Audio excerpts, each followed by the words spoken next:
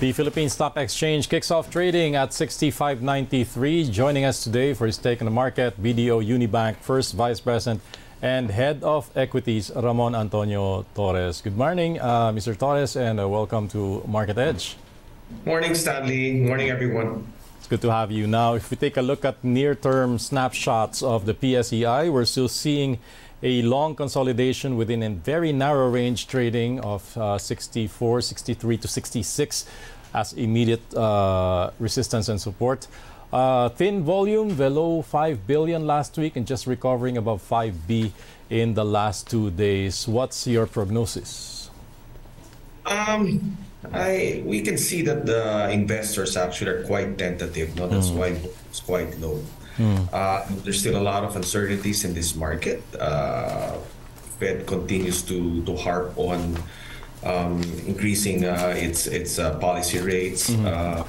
there's a looming recession. Uh, even the Philippines uh, inflation keeps uh, keeps above seven percent. So still a lot of uncertainties in the market. That's why investors are quite tentative to move. That's that's probably it. Well, the clear winners uh, in this kind of race are, of course, the banking sector, the financials. Now, aside from banks, though, what are the clear winners in the index, or at least those that are doing better than the others, or perhaps even stocks or sectors that investors are now comfortable buying at their price levels and at this kind of market? Um, well, what we can see is there's no really clear winners in the sector aside from the banking sector, no? but uh, it's actually company specifics. No?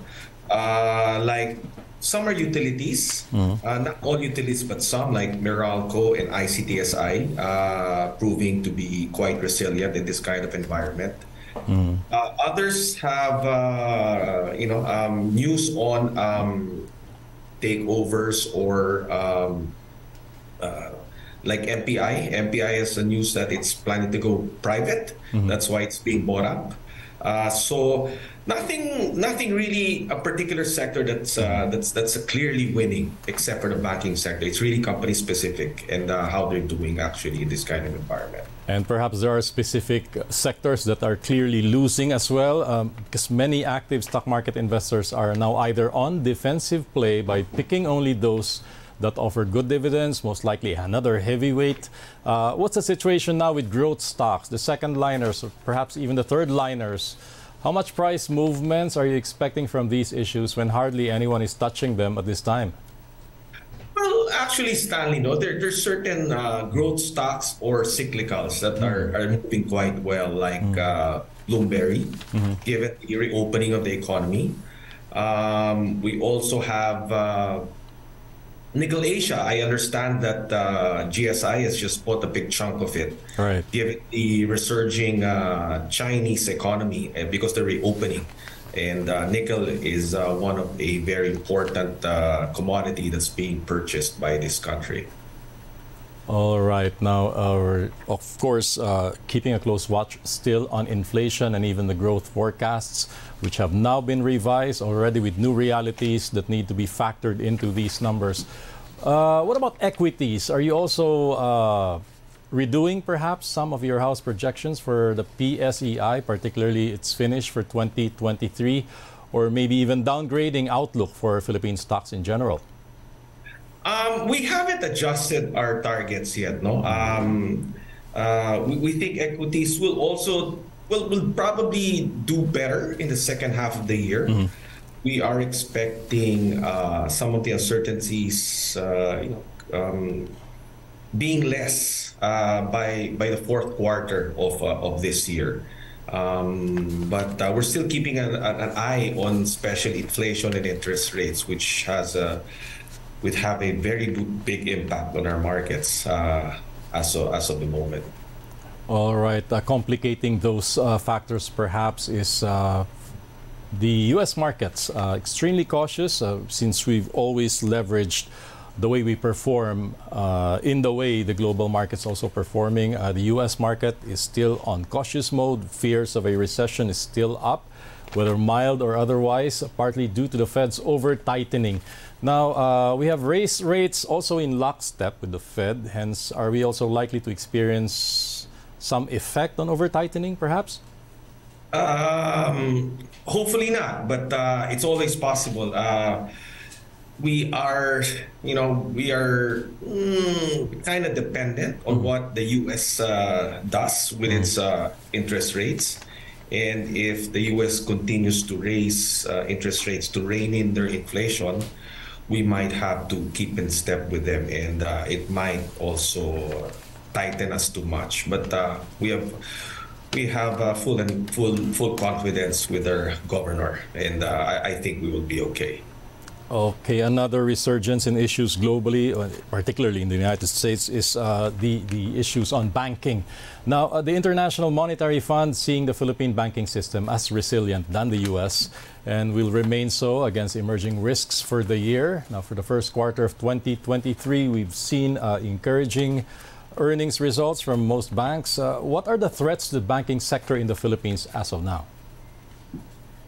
Um, the, the threats remain the same uh, as last year. Um, it's really the uh, the quality of our assets, uh, the assets of the banks. But uh, given given the waning uh, uncertainties uh, of of the pandemic of, of COVID, of trying, we are reopening already, so we are we are uh, uh, having more uh, consumers spend, and uh, the economy seems to be growing. I I think it hit 7.6 percent last year. This year, a slightly lower. I think uh, the target is about six to six to seven percent by the government. Um, we, we, we think that uh, we're, we're okay. the banking system is kind of is pretty solid. Okay, now with the new inflation and even growth targets revised and the fact that economic conditions may still deteriorate through the year 2023, what are your expectations of full year 2023 earnings for most of our companies in general? I mean, what sectors are you likely seeing to perform below expectations this year? Um, we, we think that uh, conglomerates will continue to be uh, the slower the slower market. Um, banks will continue to do well. Uh, we've seen we've seen um, BDO and uh, BPI showing outstanding first quarter earnings. Mm-hmm. Uh, Meralco also, given the uh, continued uh, economic uh, resurgence in the Philippines. Um, overall, we're looking at earnings to grow by about 15%. Mm-hmm. Uh, this is slower than last year's about 25%, but still quite uh, robust. Okay, uh, let's shift focus now. This must be very interesting times for fund managers who uh, make these harrowing investment decisions in uncertain and volatile conditions. Uh, you also represent the Fund Managers Association of the Philippines, FMAP. Uh, how is that? Has it been like? for your group hurdling one disruption after another? You know, uh, FMAP has been in existence uh, for 26 years already. So we've uh, we've encountered several uh, downturns and upturns in the market. Mm-hmm. Uh, this is always different, the pandemic, but uh, we we continue to thrive. We continue to you know, um, uh, tried to survive. Uh, and uh, so far, we're doing good. We're doing good. okay. Uh, I understand you're trying to grow this organization, uh, campaigning for membership. How does one become a member of FMAP and what are the benefits of being one? Well, FMAP, uh, FMAP is Fund Managers Association of the Philippines. So you, to be a member, you need to be a fund manager. Uh, normally for third parties, no, a professional fund manager, minimum size is about 100 million pesos. Mm. And uh, you need to be managing um, uh, either fixed income or equities or both. Okay, the group has gotten bigger, I would imagine, through the years. As you've said, 25 years of experience in the country's uh, financial institutions are already associated, at least a lot of them are now associated with the group. Now, in terms of total value of assets under management, just how big is this group in terms of uh, AUM? Uh, I think we're about five to six trillion okay. in uh, in assets under management. Uh, we're about 50 institutions and uh, about 260, 270 members right now. And lastly, what programs can members avail of, and where do you see this going uh, in the future? Well, um, we, we have, we have uh, monthly meetings, uh, either for education, for market, uh, for market news, for market updates, uh, for new products.